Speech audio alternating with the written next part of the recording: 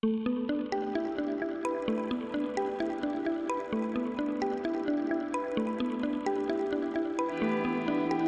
communication enabled through the internet has many uses, such as email, file transfer, and conferencing. But the most common use is accessing the World Wide Web.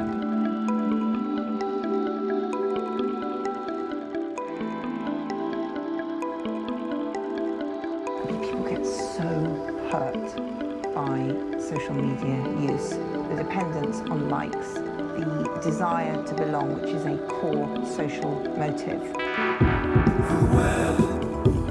Somewhere